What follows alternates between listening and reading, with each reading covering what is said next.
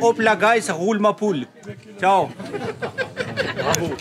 Bonjour et bienvenue dans une nouvelle vidéo des 8 heures d'Alsace aujourd'hui à Colmar. Et je ne suis pas tout seul, regardez qui est là. Aurélien de Willows. Céline de Willows. Homme des bois. De Tours De Tours Lionel. Moi Moi je suis pas de là, Salvatore. J'assume Ah, pour c'est- mon entourage familial et amical, j'assume. Moi j'allais l'appeler Salvi, mais maintenant il me suis rappelé, je seul, d'accord Moi c'est simplement Robin. Voilà. Dans ce petit épisode, on accueille Willows et les Tourangeaux pour une petite découverte du centre Alsace. Au départ de Colmar, c'est les cités viticoles de Turkheim et Kaisersberg que nous allons traverser par la pittoresque route des vins.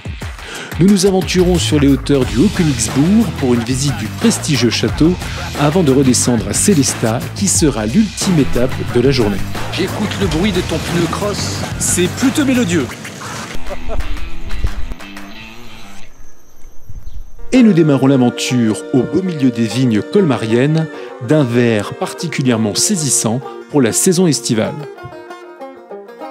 C'est en remontant la Fechte, cette rivière qui coule le long de la vallée de Münster, que nos amis se réveillent tout doucement. du mal à me réveiller moi ce matin. hein. J'ai dormi une heure et demie cette nuit. Ça va, tout le monde a digéré son petit déj? Ça va, c'est bon. Tout le monde est réveillé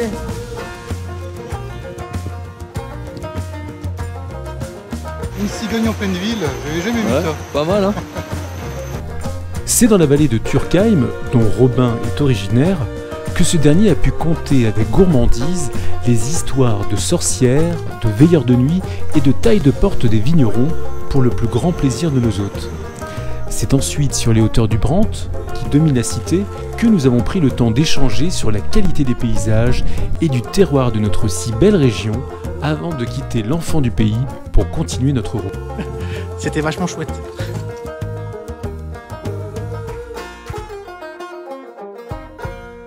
On va proposer aux, aux Willows de prononcer le mot du village. Là, t'es capable de prononcer le nom du village dans lequel on est? Je l'ai pas vu écrit. Niedermorschwir Niedermorvirch. Morschwir C'est marrant, hein? Hein, C'est difficile à dire quand même les patins en Alsace. Niedermorschwir. On va faire dire ça à un Marseillais ou à un Parisien. hein?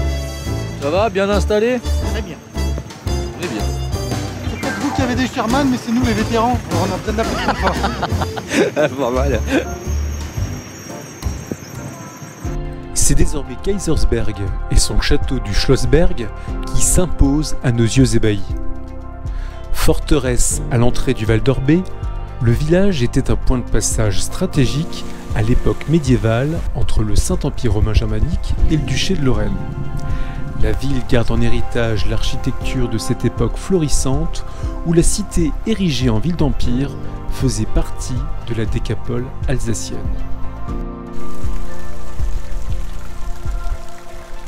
Il était très, très alsacien.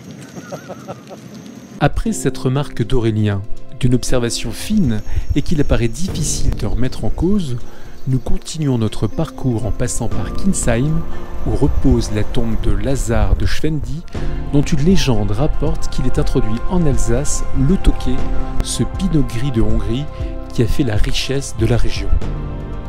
Au loin, c'est Rigvir que nous apercevons, avec une entrée à la hauteur de nos invités.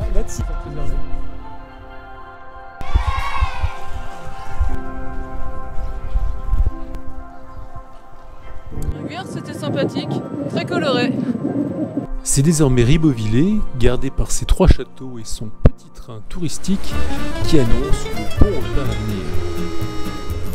Bonjour tout le monde les gens Je crois qu'Yannick a faim.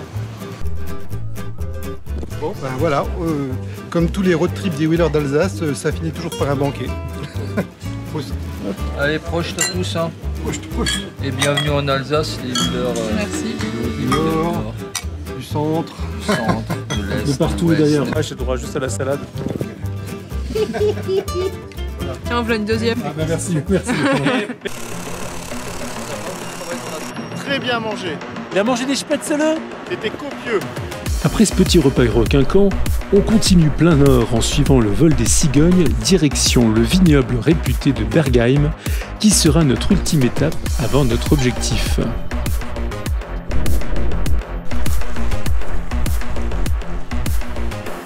Tu vois le truc là-bas? On va y aller. C'est là-bas notre destination. Et ça va être une très grande surprise pour Aurélien, il s'y attend pas du tout. On a vraiment tout balancé sans faire exprès.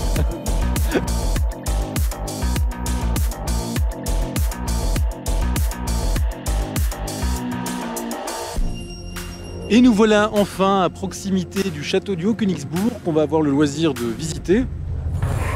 Érigé au XIIe siècle, le château du Haut-Königsbourg a été pendant des siècles le témoin de conflits et de rivalités entre seigneurs, rois et empereurs. Ce château de montagne incarne à lui seul toutes les turpitudes d'une histoire alsacienne ballottée au carrefour des influences latines et germaniques.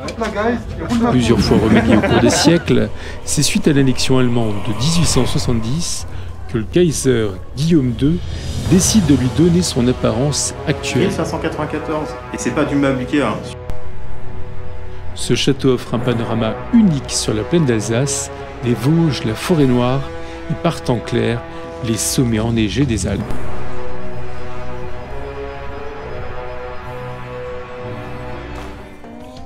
C'était un sympathique château. C'était très rose et très médiévaleux. Plein, plein, plein de gyros roux partout en ce qui me concerne. Et, et un mur de grès. Voilà. Et puis c'est tout. Salvatore a été le gardien des roues euh, pour qu'on puisse un petit peu circuler dans le château. Merci Salvatore. Et c'est ainsi que s'est terminée la balade en redescendant tranquillement du château pour retourner dans la plaine direction Célestat pour accompagner Lionel et Michel à la gare. Les vétérans ont suivi les Sherman. Allez, Ciao, ciao. À bientôt. Ciao, ciao. On les remercie chaleureusement de leur passage en Alsace et on se dit à très bientôt les Tourangeaux.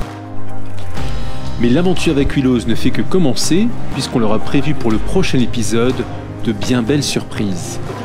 Hop la guys et roule ma poule.